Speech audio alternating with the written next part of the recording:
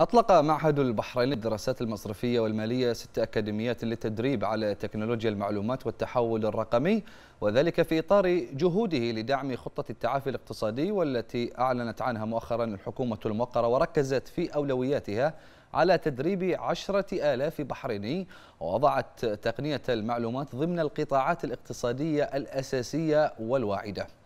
يشمل التدريب على ورش عمل متنوعة ودورات احترافية متخصصة اعتمدت على التطبيق العملي وابتكار الحلول التكنولوجية ذات الصلة بمتطلبات العمل.